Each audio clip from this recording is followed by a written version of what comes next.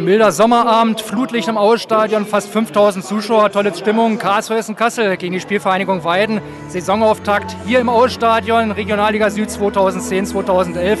Damit herzlich willkommen zur aktuellen Ausgabe von Löwen TV. Neben mir steht das Vorstandsmitglied Thorsten Schönerwolf. Thorsten, es geht endlich wieder los. Auftakt in Freiburg. Man kann sagen, Punkt geholt gegen einen starken Gegner. Heute Auftakt gegen Weiden. Wie siehst du denn diese neue Spielzeit mit dem KSV?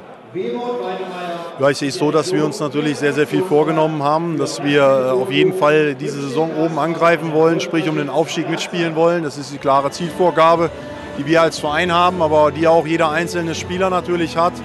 Und äh, bis hierher gesehen, nach drei Halbzeiten, äh, ist es leider so, dass wir zwei vermeidbare Gegentore äh, bekommen haben und diese Fehler müssen wir schnellstens abstellen, damit wir nicht noch mehr Punkte liegen lassen in Zukunft. Thorsten, du warst ja entscheidend daran beteiligt, diese Mannschaft zusammenzustellen. Ähm, ihr habt einige neue Leute geholt, die alle Charakterspieler sind, Führungsspieler, wie man sagt. Wie ist so dein Eindruck von den Jungs? Ja, ich habe insgesamt einen sehr guten Eindruck von der Mannschaft an sich und auch von den, äh, von den Einzelspielern.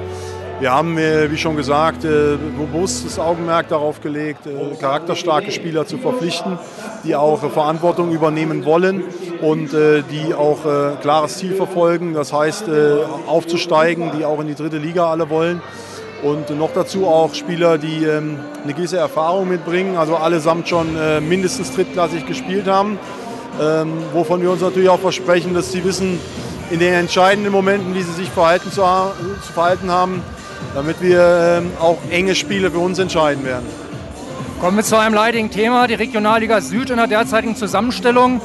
Euer Vorstandschef, der Jens Rose, ist ja da bemüht, Lösungen zu finden, in Zusammenarbeit auch mit der DFL, mit dem DFB. Ende August geht es ja da in die nächste Runde. Ich denke, man kann sagen, in dieser Zusammensetzung hat die Regionalliga Süd keine Zukunft. Neun zweite Mannschaften spielen mit. Wie ist da die Wunschvorstellung vom KSV Hessen? Ja, ich hoffe, dass es uns dieses Thema äh, nicht mehr direkt äh, ähm, ja, äh, belasten wird in der nächsten Saison, äh, wenn wir unser Ziel erreichen, nämlich den Aufstieg. Aber äh, letztendlich für den Fußball insgesamt ist es eine, eine Totengräberliga, weil äh, wenn man erfolgreich sein will, muss man unter Profibedingungen arbeiten in dieser Liga und das ist bei den Einnahmen, die man hat, bei den Zuschauereinnahmen, aber auch Fernsehgelder etc. pp. unheimlich schwierig dauerhaft zu finanzieren.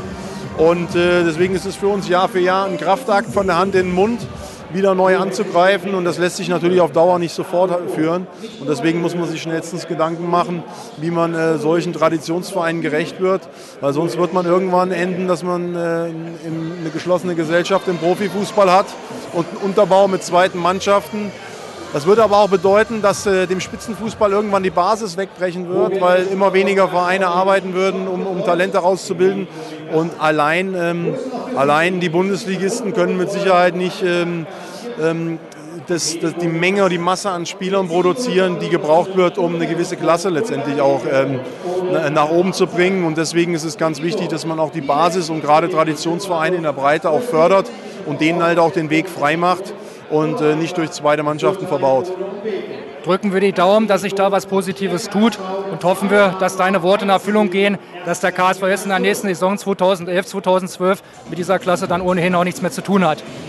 Thorsten Kolbe war mit seiner Kamera unterwegs, hat die schönsten Szenen eingefangen vom Flutlichtduell gegen die Spielvereinigung Weiden. Viel Spaß dabei.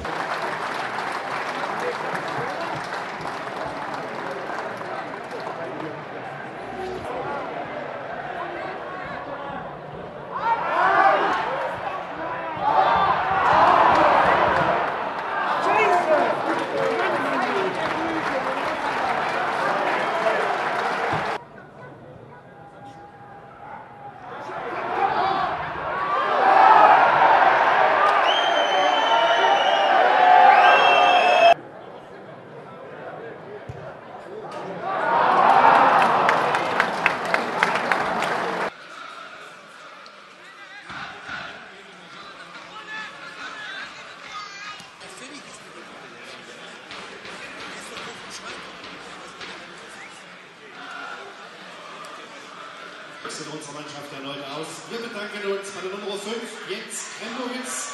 Jetzt spielt wieder 15, Jaroslav Mattis.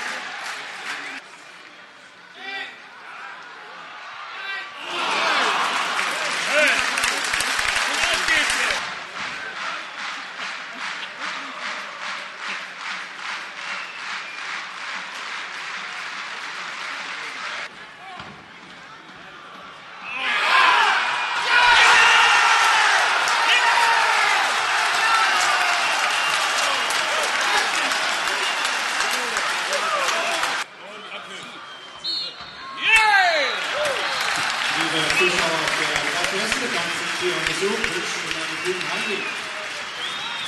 Ich hoffe, wir sehen uns wieder am Samstag, den 21. August, hier um 14 Uhr gegen die zweite Mannschaft vom Karlsruher SC.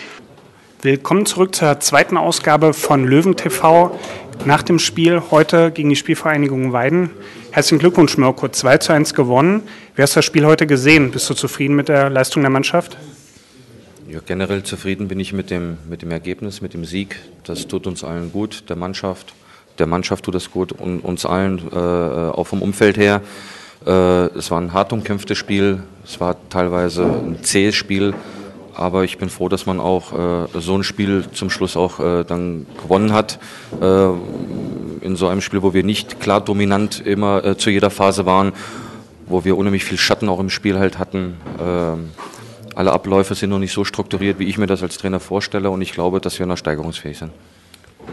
Mirko, ähm, wie schätzt du die Mannschaft momentan ein? An welchem Punkt steht die? Du hast ja selber auch gesagt, es sind sehr, sehr viele Neuzugänge mit, äh, die integriert werden müssen. Heute standen, glaube ich, drei Spieler aus der letzten Saison von der Startelf mit im Team. Wie klappt die Integration der Neuen? Jetzt ist mit Mario Neun aber auch noch ein Spieler dazu gekommen. Wie klappt das? Ja, von, von, von der Integration, vom, vom Menschlichen her äh, passt das 1A, das ist eigentlich alles abgeschlossen. Jetzt gilt halt das, das Feintuning, also diese Abläufe, diese Abstimmungen, die Automatismen, die müssen jetzt kommen und das hoffe ich wird von Spiel zu Spiel besser. Äh, ja, wie gesagt, ich bin noch nicht hundertprozentig zufrieden, aber äh, heute mit dem, mit dem Auftaktsieg mit dem, mit dem Heimspielsieg auf jeden Fall. Äh, wo wir genau stehen, kann man mal schlecht in Prozenten ausdrücken, weil man auch die, die Gegner jetzt schlecht äh, kennt. Äh, so viele Spiele sind ja noch nicht absolviert, dass man auch den einen oder anderen Gegner beobachten konnte. Äh, ich glaube schon, dass wir nur Luft nach oben haben. Alles klar. Vielen Dank, Mirko Dickhaut. Und damit verabschiede ich mich von der zweiten Ausgabe von Löwen TV. Ich hoffe, es hat Ihnen gefallen. Schalten Sie bald wieder ein, wenn wir live und exklusiv berichten aus dem Auerstadion. Vielen Dank.